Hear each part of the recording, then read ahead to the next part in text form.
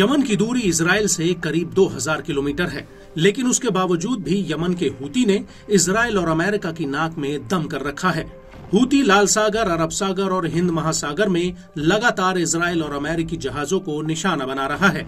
इसके अलावा हूती के ड्रोन और मिसाइल अब सीधे तेल अवीव पर गिर रहे हैं। लेकिन इस सब के बीच अब हूती ने अमेरिका को बहुत बड़ी धमकी दे दी है।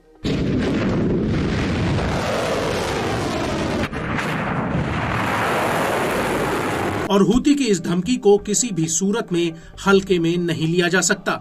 दरअसल हूती का कहना है कि अगर अमेरिका ने यमन के ऊपर हमला करने की ज़रूरत की तो वो उसका हाल वियतनाम युद्ध जैसा करेगा। दरअसल हूती का कहना है कि यमन के अलहोदेदा बंदरगाह पर अमेरिका की आक्रमण करने की योजना का खुलासा हुआ है। और हकीकत में, अगर अमेरिका ऐसा करता है तो उसका अंजाम वियतनाम युद्ध से भी भयानक होगा। जिसमें हज़ारों अमेरिकी सैनिकों की जान चली गई थी।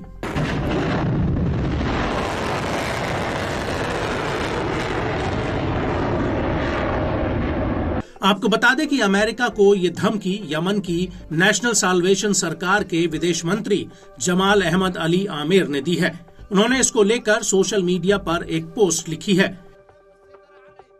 इस पोस्ट में उन्होंने कहा कि अमेरिकी प्रशासन ने कथित योजना के बारे में जानकारी लीक करना शुरू कर दी है जिससे वो यमन के ऊपर इजरायली टारगेट्स के खिलाफ हमला करने से रोकने के लिए दबाव डालना चाहते हैं। अमेरिका को जब एहसास हुआ कि यमन को नुकसान पहुँचाने की उसकी सारी कोशिशें नाकाम हो चुकी हैं, तब उसने यमन पर हमले की जानकारी लीक करना शुरू कर दिया।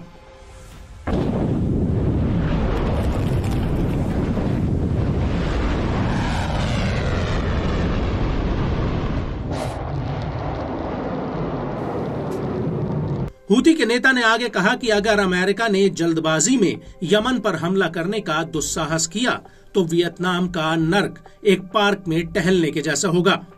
स्वतंत्र लोग घुटने नहीं टेकते और अमेरिका सरकार अल्लाह द्वारा भेजा गया शासक नहीं है।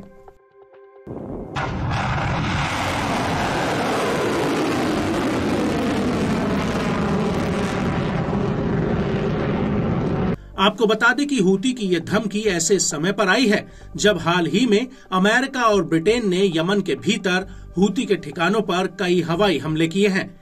इन हमलों के बावजूद हूती दबने का नाम नहीं ले रहा। और तो और, अमेरिका और ब्रिटेन ने हाल ही में यमन के भीतर हूती के ठिकानों पर पंद्रह बार हमले किए। वहीं अमेरिकी सेना ने तो हूती को रोकने के लिए अपना सबसे शक्तिशाली बी टू स्टेल्थ बॉम्बर भी तैनात कर दिया। लेकिन इतना सब होने के बावजूद हूती रुक नहीं रहा, बल्कि अब उसने अमेरिका को वियतनाम युद्ध की याद दिलाई है।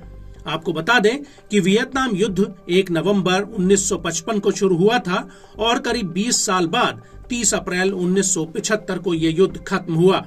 और इस युद्ध में करीब अट्ठावन हज़ार से ज़्यादा अमेरिकी सैनिकों की जान चली गई थी।